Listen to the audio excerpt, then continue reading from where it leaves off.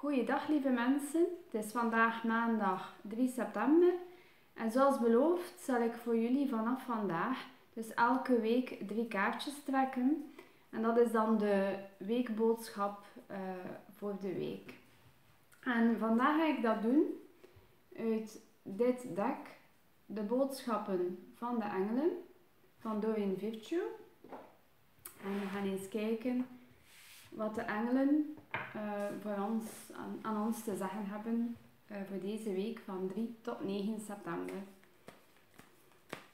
Ik ga eerst de drie kaartjes trekken en daarna ga ik ze bespreken. Ik heb wel eentje gekregen. Nee, ik heb wel twee gekregen. En nu nog eentje.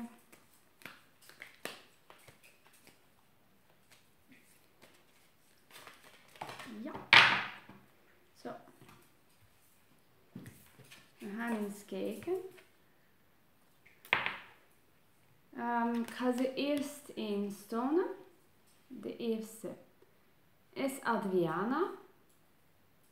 En ik zal eens lezen wat erbij staat. Ik leid je naar het antwoord op je vragen. Luister naar je intuïtie, je gedachten en je dromen en volg de stappen die ik je op deze wijze geef. Dus uh, deze kaart toont je of zegt je dat je eigenlijk wel met uh, bepaalde vragen zit of bepaalde dingen waar je niet echt uh, ja, een antwoord op weet of niet weet wat je moet doen. En deze kaart zegt vooral om te luisteren naar je intuïtie. En om te luisteren naar die intuïtie heb je echt wel stilte nodig. Een moment voor jezelf, een wandeling in de natuur. Want als je altijd druk bezig bent, dan, dan is het heel moeilijk om dit te horen. Ik ga niet zeggen dat je dat niet hoort, je hoort het wel. Um, als het echt wel nodig is dat je iets doet, dan, dan ga je het echt wel horen. Het is heel, veel gemakkelijker eigenlijk als je eventjes tijd neemt voor jezelf. Een momentje rust, dat hoeft niet lang te zijn. Um, je kan ook voor je gaat slapen vragen aan de engelen om je boodschappen door te geven via je dromen. En dan krijg je echt wel inzichten of ideeën van wat je kan gaan doen. En het is ook belangrijk dan dat je dit gaat opvolgen. Dat je je niet laat tegenhouden door je ego, die je van alles gaat aanpraten en die je gaat overtuigen dat het beter is om het niet te doen. Probeer dat te volgen en ja, luister naar je intuïtie en neem de stappen um, die je doorkrijgt via je intuïtie. En dit is de tweede kaart. Um, dus uh, ja, ik ga het eerst een keer lezen. Je wordt beschermd voor alle vormen van gevaar. Het ergste ligt nu achter je. Ik vraag je om ontspannen en je veilig te voelen. Dus dat is een heel mooie aansluiting uh, voor de eerste kaart. Dus uh, je krijgt inderdaad dus via je intuïtie dingen door of ideeën over stappen dat je mag nemen. Maar zoals ik al zei, dat ego kan soms heel lastig zijn en het je moeilijk maken. Maar dan zegt deze kaart, Zana, um, van maak je geen zorgen. Misschien heb je in het verleden dingen meegemaakt die je angsten gemaakt hebben, waardoor je nu de stappen niet meer durft te nemen of waardoor je bang, bang geworden bent. Maar het eerste is achter de rug en de engelen zijn er nu om je te beschermen. Vraag ook de engelen om bescherming, want het is heel belangrijk. Um, als je de engelen vraagt, uh, vooral aartsengel Michael dan, die is, uh, die is gekend voor zijn goede bescherming, maar ook natuurlijk je beschermengelen en andere engelen.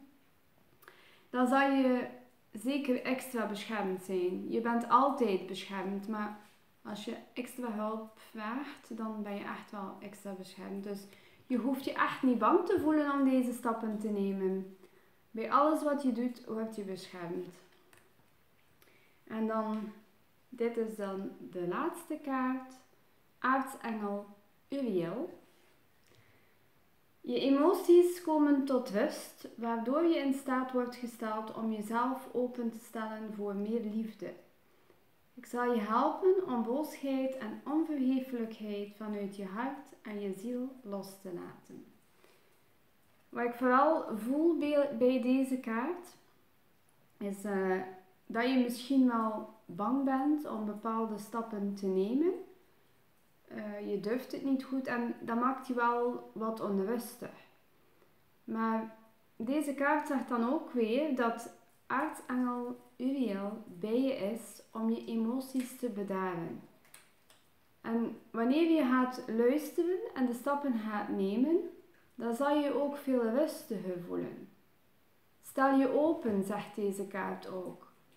Probeer niet alles weg te duwen. Ehm, deze kaart staat ook voor, ja, voor liefde, voor je hart open te stellen. Die kaarten kunnen dus ook goed te maken hebben met de liefde. Daar krijg je ook soms aanwijzingen over. Of, uh, je voelt je bang en je bent bang om nieuwe relaties aan te gaan, nieuwe mensen te ontmoeten. Het is veilig. En aartsengel Uriel zal je hierbij helpen om je hart open te stellen en je emoties te bedaren. Dus uh, ja, eigenlijk de boodschappen van deze week hangen eigenlijk wel aan elkaar. De eerste is luister naar je intuïtie en volg de stappen die je krijgt. De tweede zegt dat je niet bang hoeft te zijn dat het veilig is.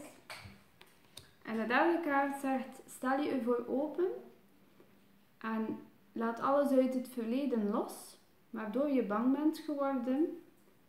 En vertrouw en je, je wordt geholpen om je emoties te bedaren en je zal je, je ook um, heel wat rustiger voelen.